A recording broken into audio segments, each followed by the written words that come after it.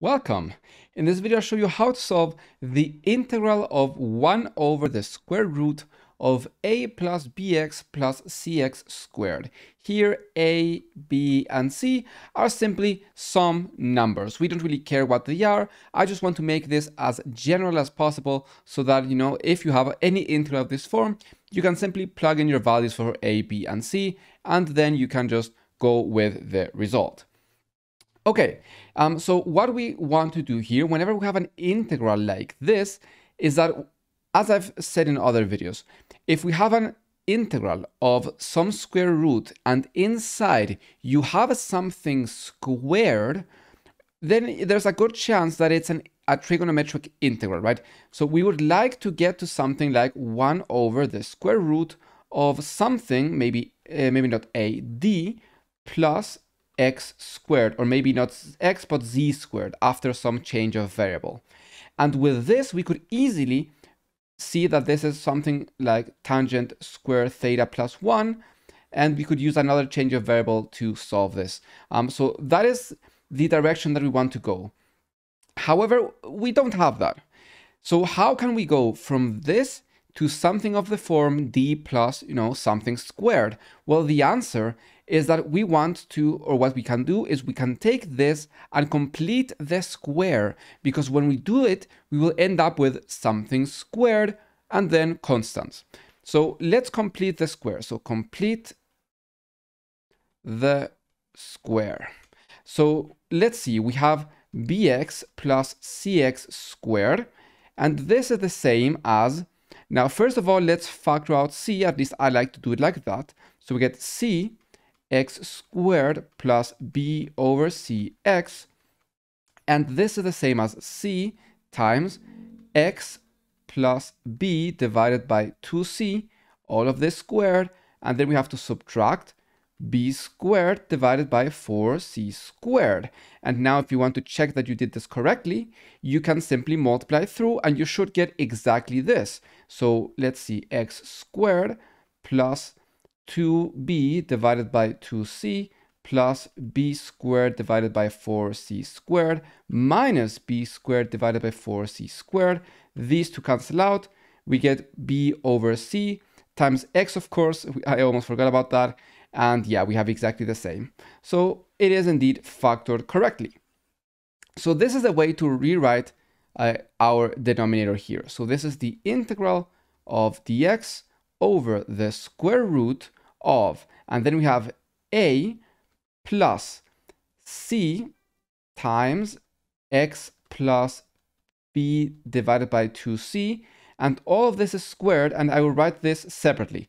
And then we have minus b squared divided by 4c. Why not uh, c squared? Because we have to multiply this c with that part, so one of the c's cancel out.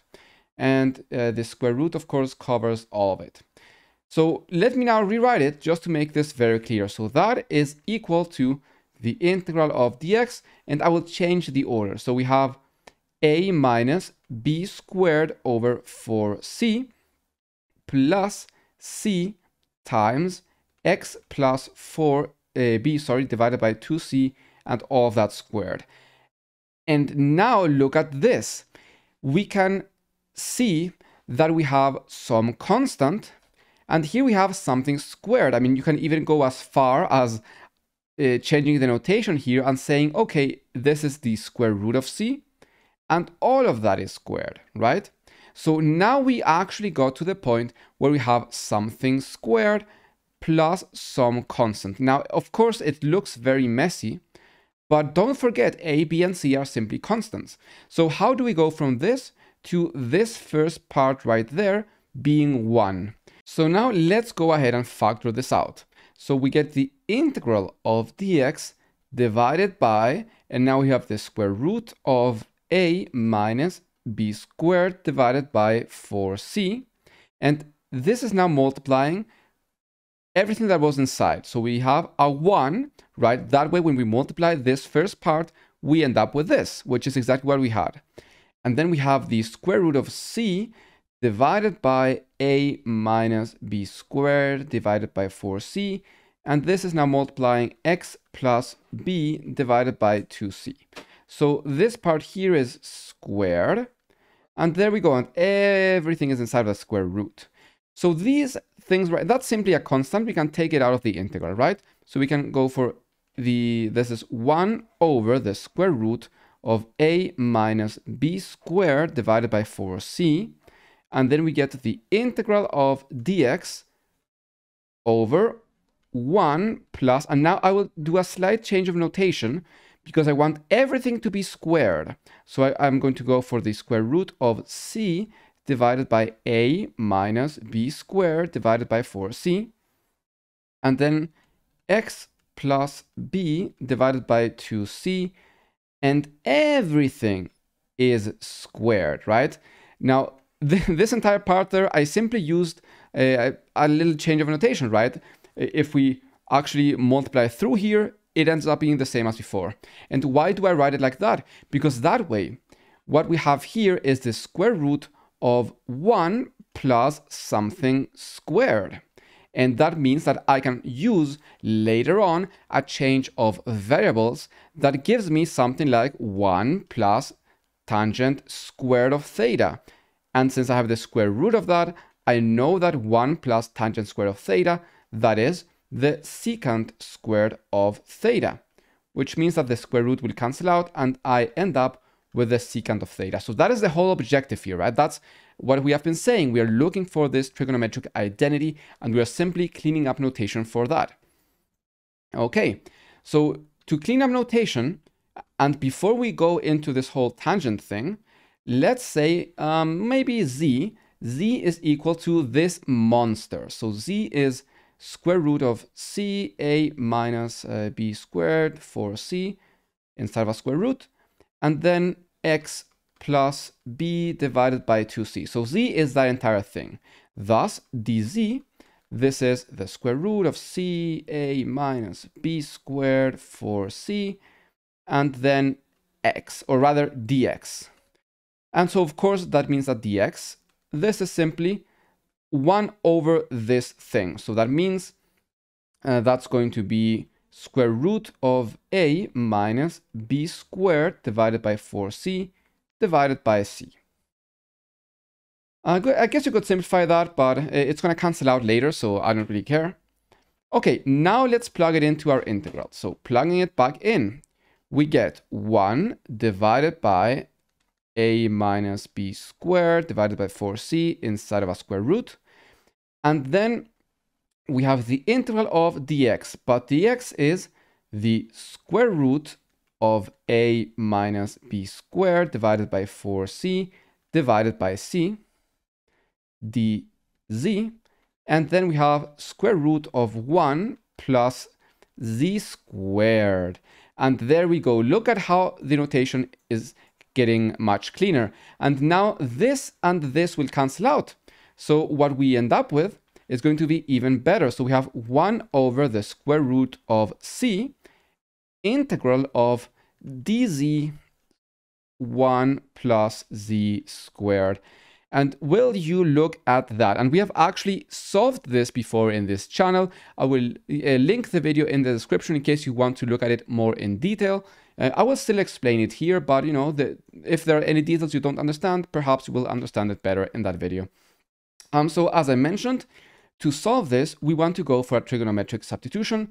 And since we have this 1 plus something squared, we can say, okay, z is going to be tangent of theta, which means that dz will be the secant squared of theta d theta. So we plug this in, we get 1 over the square root of c, integral of the secant squared of theta d theta, divided by the square root of 1 plus tangent squared, which is the secant squared of theta. However, square root will cancel out with this, and the remaining secant will cancel out with that one, so we end up with simply the secant of theta. Now, how do we solve this integral? Again, it's explained in the video, and I even made an entire video about this integral. Um, I will put all the relevant links in the description. But the way to solve this is to use a very, uh, a very clever trick. Right? Uh, I, I describe the the logics uh, the logic behind the trick in the video about this integral if you want to take a look at it. But the trick is to multiply by the secant of theta plus the tangent of theta divided by the secant of theta plus the tangent of theta.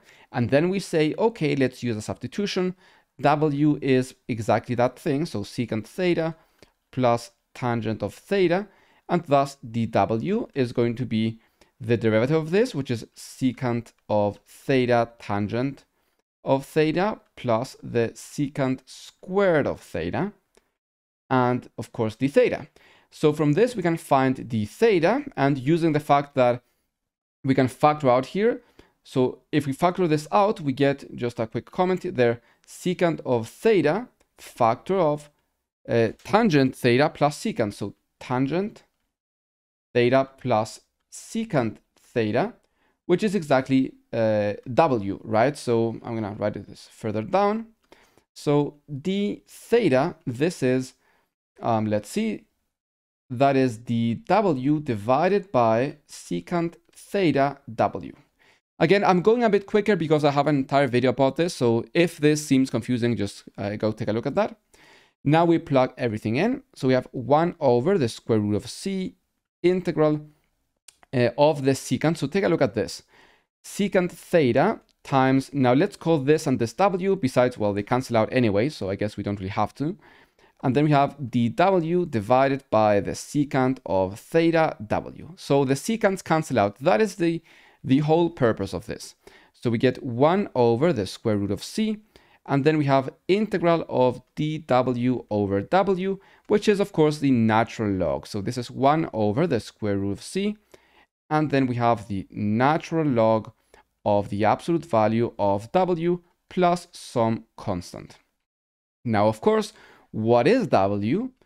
So we need to plug that in. So w is the secant of theta plus the tangent of theta plus some constant. But what is the secant theta and the tangent theta, right? That was not what we started out with.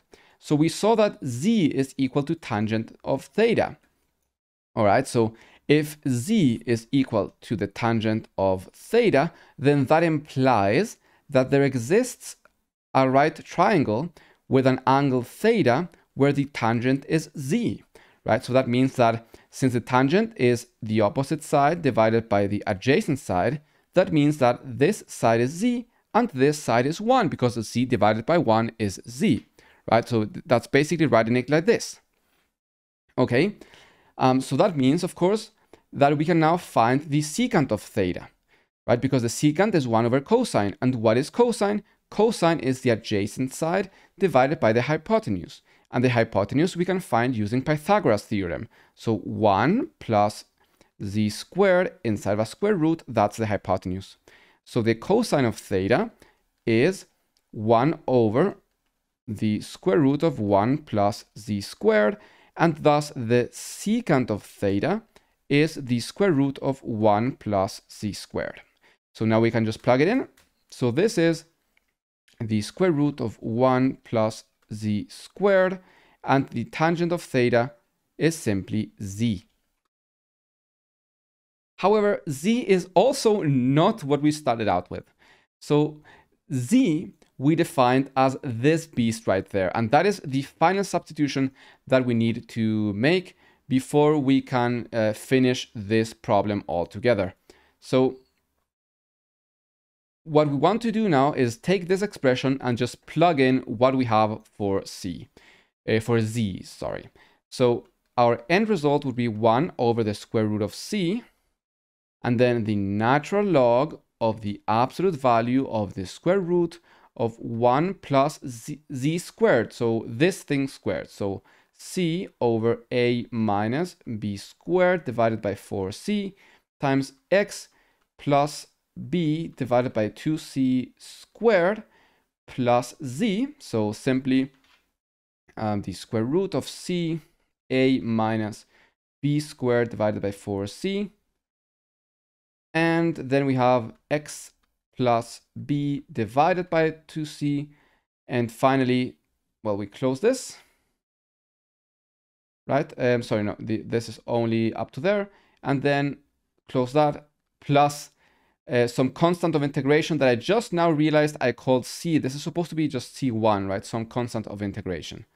Um, so yeah, we gotta be a little bit careful there with our uh, labeling. So there we go. This is the result for this integral, and it's valid, of course, for any a, b, and c, um, especially if they are positive. So yeah, I hope that this video was useful to you. If it was, please make sure to leave a like on the video, comment, and subscribe, and maybe even consider checking out my Patreon. So I'll see you in another video. Thank you very much for watching.